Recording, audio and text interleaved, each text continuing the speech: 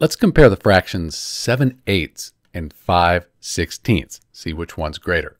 So to do that, we could just divide 7 by 8 on a calculator, 5 by 16, get decimals and compare them. That'd tell you if 7 eighths was greater than, less than, or equal to 5 sixteenths. We could also get a common denominator. Right now we have 8 and 16.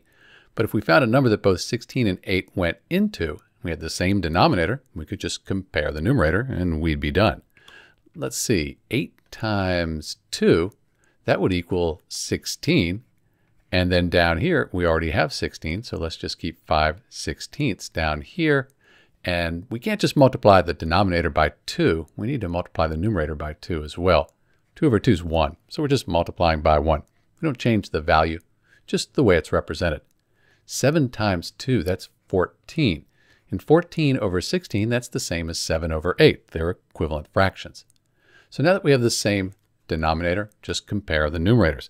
And you can see that 14 is much larger than 5. So 14 sixteenths, that's larger than 5 sixteenths. Since these are equivalent, 7 eighths, that's a lot larger than 5 sixteenths as well. This is Dr. B, and thanks for watching.